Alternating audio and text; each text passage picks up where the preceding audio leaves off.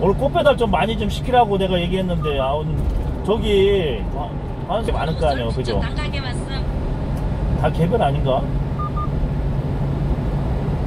오라바 약 1km 1km 시속 110km. 단속에 아니 화분 얘기하는 거 화분 화분은 재활용 아니잖아 그러니까 화분 아, 화분은 오늘 한 10개 나가나 보죠? 어, 제 얘기하는데 뭐 4개인가 들어왔다고도 막 나한테 전화 와갖고 어제 저녁에 이문자 누님하고 계시다고 이렇게 어, 제 아우님 전화 왔던데 그래서 약 500m 어. 시속 90km 어 전화 와서 어제 꽃이 4개인가 들어왔다고 그러더만 저녁에 그래서 선, 선배님이 갖다 줬나? 그런지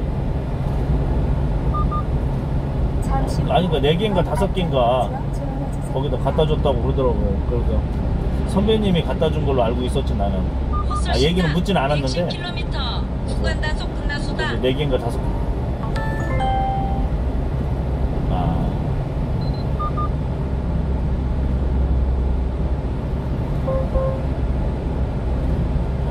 원래 한 30명 갈, 가겠네, 한 30명. 어제, 뭐, 저, 저거 물어보던데, 수육거리 뭐 이런 거 물어보길래, 내 집에서 수육하니까, 거기서 좀 더 삶아갖고, 깔끔하잖아요. 내 집 수육 괜찮잖아요. 거기 맛있잖아요.